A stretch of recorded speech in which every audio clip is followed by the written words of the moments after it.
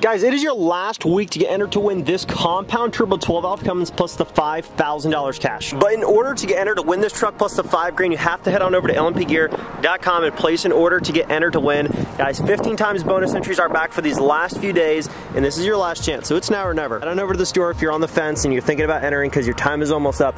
Grab those entries because somebody's got to win this thing. That person could be you. Very next day, and we are hopefully going to be able to make a lot more progress today than we could yesterday. I'm well stocked on buckets of structural screws. I'm well stocked on 16 foot 2x4s and we're going to be getting to working on the interior even more so yet yesterday it was a real struggle i got some ideas on how i'm going to make this a little more effective today um, i'm still going to try to finish up this like any small pieces that I can use for my scraps from taking down all the shelving, I'm gonna try to use. But for all the big long pieces that we need, for all along the longer distances of the walls and stuff, that's where these are gonna come in. These are gonna make up the difference. It's gonna hopefully go fairly smooth. So that's gonna be the process is to get these two by fours thrown up all thrown up all along the walls on the inside today, or as much as we can at least until I've got to go and uh, tend to tend to some plans I have for this evening. So to get as many of these 2x4s hung for our steel as we can for the liner panels. And hopefully we get a lot of progress. So got a table saw today. I got extension cords ran from the house all the way to the barn, which is like 150 feet or so of cord. And then uh, we're gonna pull these boards up and get to measuring, cutting, and using up the rest of the scraps that we can for the small pieces and the corners and stuff that don't need nice straight long boards. But for everything else, we should be good on material to line the entire thing with the 2x4s for hanging our steel. So let's get to it. Hopefully we can knock out a ton of this.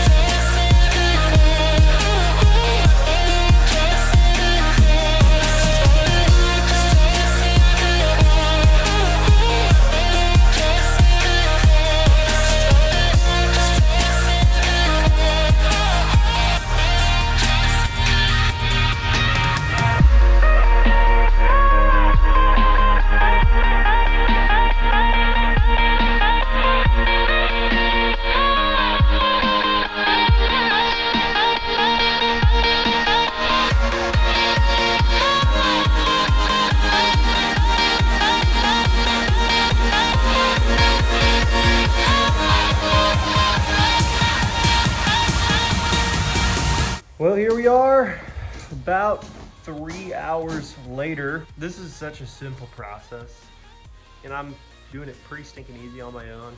I'm using a little block of wood to prop the board up on the one end so we can tack one, level it, tack the other side. Makes it way easier. But let me show you what I got done so far. So I've got all of the two by fours, 24 inch spacing all the way around. They're pretty much exactly lined up with the ones behind it. And that is for hanging our tin for the interior of the barn. Now, again, down here in the corners, I use these scrap pieces, which of course you're never gonna them, but I use these scrap pieces and I fasten them to the post for more than anything, just so I know the proper spacing without having to try to measure it and then like put a screw down in the top or the bottom to try to hold it in place and yank it around.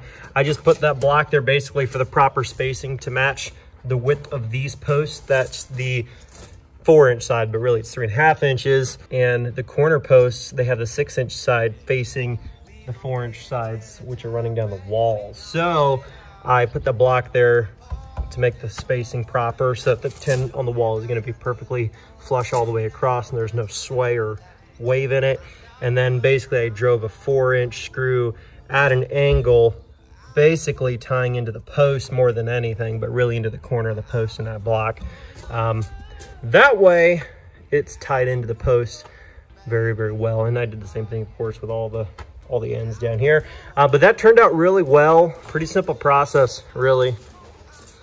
you always think you're gonna get more done than you really end up finishing. Like today, between going to the Home Depot, which is the closest place that had lumber that was open today, pulling all the materials that I grabbed today, which was the two by fours and a bunch of the screws and stuff just for today's project, and then getting everything cut, you know, measured, cut, level, everything, you know, between the running around and this, um, I mean, that was probably about five hours, give or take, between the work and finding the stuff, getting it unloaded, loaded, driving back and forth to the store, back to the house, you know, just to get just to get this one wall done here today. And I gotta take off now. But one wall at a time, I mean, we can get tomorrow, if we can get this whole backside done and all that down there, we're gonna be in pretty good shape to hang steel. And then other than that, um, we're gonna be done with all the wall prep for the 10.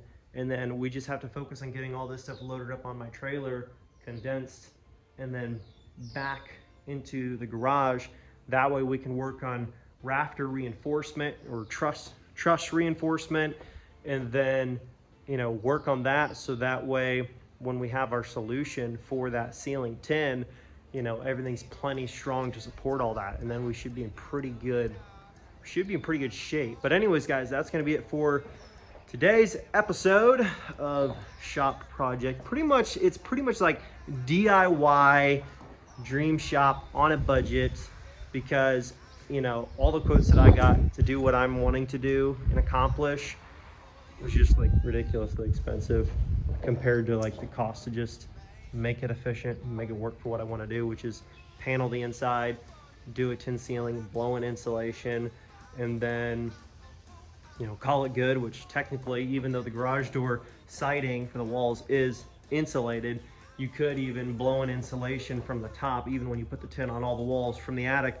you could literally fill all the walls with blown in insulation if you really wanted to, and it would be plenty, plenty easy to heat and to cool this place with hardly anything, honestly. It would be a super easy thing to do in a space that's only 30 by 40, 1,200 square feet. I mean, not a not a very hard space to heat and cool. Excited about that, but I gotta run, guys. If you have not heard, we are doing 15 times bonus entries. This is your last week to get entered to win this 95 compound turbo 12 valve Cummins plus $5,000 in cash. If you want to win that truck, this is all you have to do. Go to lnpgear.com, place an order, and you'll automatically enter to win.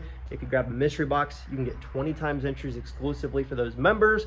And then on another note, every day until June 3rd, on the last day, we're gonna be drawing two customers each day who place orders that day and giving them $50, whether it's through PayPal, a Visa, if you don't have PayPal, whatever you guys want to do. And then uh, just as a thank you to our customers, each day we're going to pick two customers that place orders on that day, and then we're going to be giving $50 to two customers each day until the last day. So as a little thank you. And then also keep in mind this, every order you place adds up towards your total entry. So like if you place an order at the beginning of the giveaway or the middle of the giveaway, and you're like, oh man, if I place another order, do all my entries add up? Or do I only get entries for one of my orders? You get entries for all of them. So if you place an order during, you know, 1X, 10X, and then 15X, you're gonna get all those entries from all those orders added up to one big number of entries into the drawing for the truck and the cash. Uh, so that's how that works. So super simple process. If somebody has to take that truck home, that somebody could be you, could be you just as easy as it could be anybody else. Take your chance because that truck's got to go to somebody. And your driveway looks like a very welcoming location for that vehicle. So thank you guys so much. I will catch you in the next video. Peace.